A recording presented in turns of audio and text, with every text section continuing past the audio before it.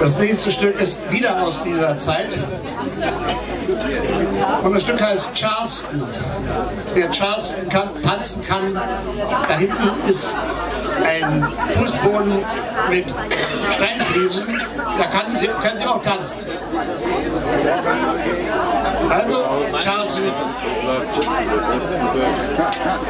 Ja.